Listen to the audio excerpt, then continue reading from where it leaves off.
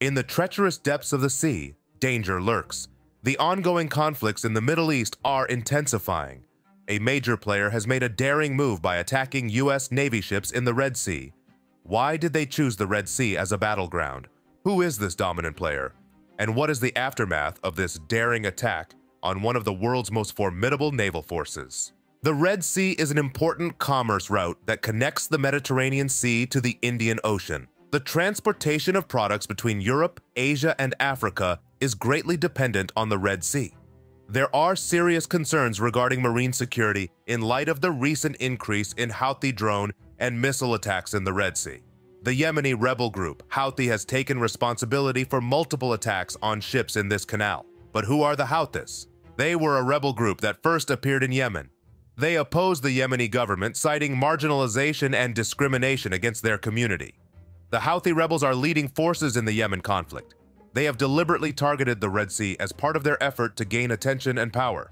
They disrupt maritime trade and raise awareness of their cause on a global scale by attacking both military and commercial ships.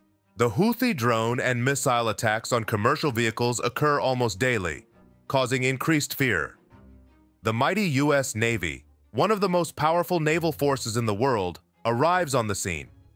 Its role extends beyond maritime security and military goals.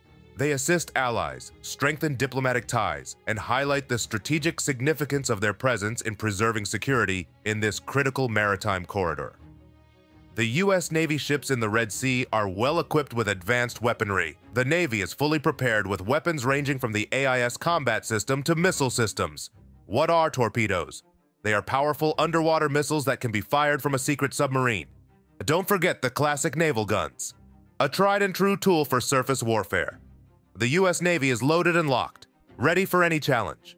What will be the outcome of the action-packed confrontation between these two forces in these dangerous waters?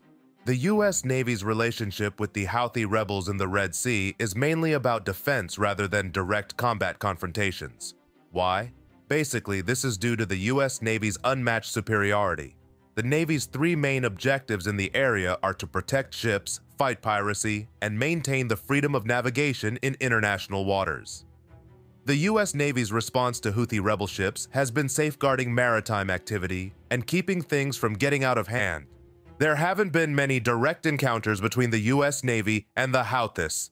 The U.S. prioritizes de-escalation, deterrence, and defense tactics to minimize ship threats and preserve regional stability.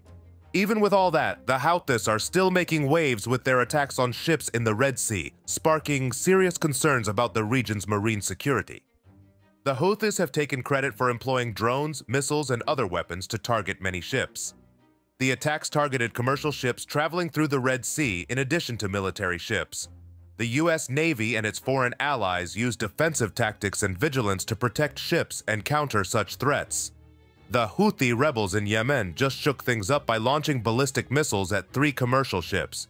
But wait, there's more.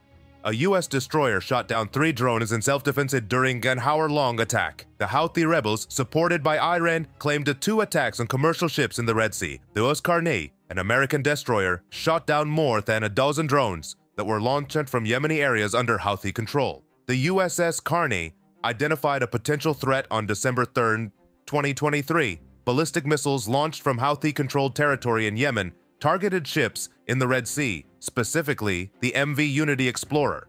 The action really picks up at this point. The USS Carney unleashed an attack in response to the ballistic missile launch, it teamed up with US and British naval forces to intercept and counter the incoming missile attack using its top-notch detection systems and powerful weaponry. The Houthis have thrown everything from direct attacks to anti-ship missiles. They even executed a risky operation of helicopter landings to take control of a commercial ship. Now, here's the tricky part. With all these regional conflicts going on, how can the US Navy stay in the Red Sea? It's a real challenge and the biggest roadblock? Security threats. What's your opinion about the US Navy's front and center approach? Don't you think it's time for a different strategy? Comment below. Please subscribe and hit the bell icon to receive notifications whenever we drop a new video.